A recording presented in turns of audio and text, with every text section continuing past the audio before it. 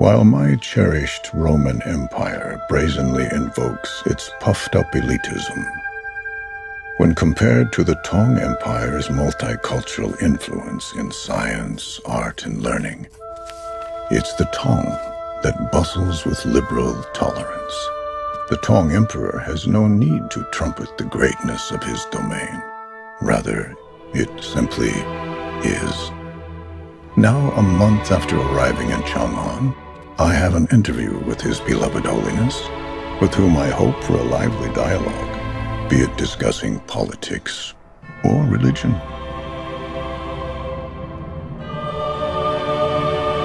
What in heaven's name is this place?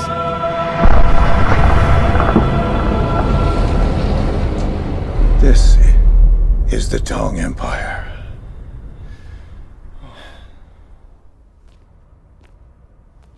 秦东罗马帝国使臣觐见。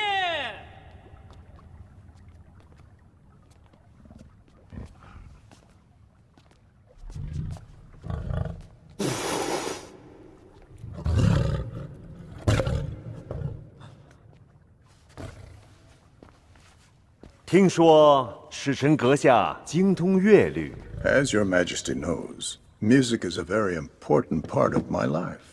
如阁下不介意，我想听贵国的哀歌。 If your majesty permits, I have many joyous carols to offer from my homeland as well. 你可以把它留待下次。朕今天要哀歌。 At first, I couldn't surmise what the Emperor was thinking on that day. Later, I learned that the Emperor's army had been victorious in the border war. However, he chose to abort the victory celebration. In its stead, he chose to observe with honor the casualties of both his troops and the enemy's.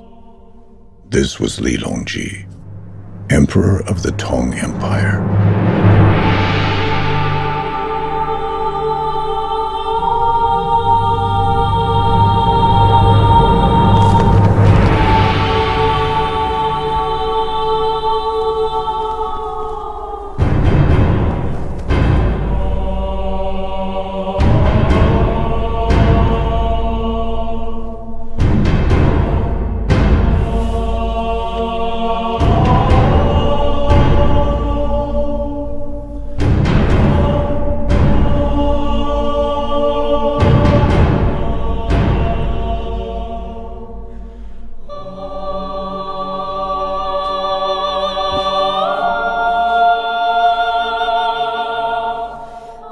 那领舞者其哀如舞自己。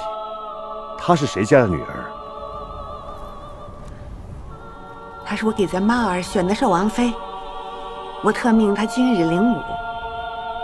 日后人知她的武艺担得起国之重典，一觉甚配皇家。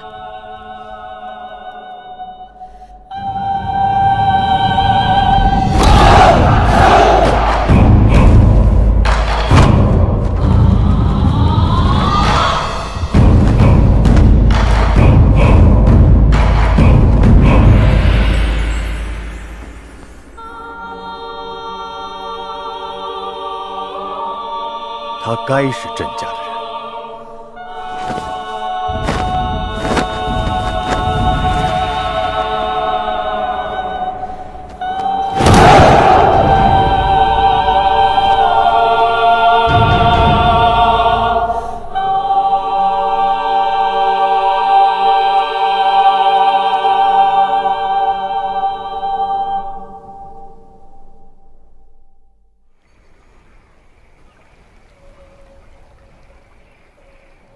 刚才那位领舞的小女子是什么人？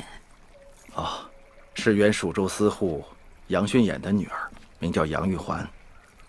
她父母双亡以后，就寄养在长安城她堂哥杨国忠的家里。那她现在就是我选中的寿王妃了。安排她明天见我。